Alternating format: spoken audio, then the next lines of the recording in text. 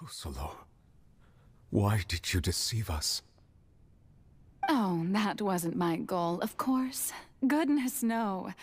But I had to fool everyone else too, if I was to stand any chance of deceiving the heavenly principles. Just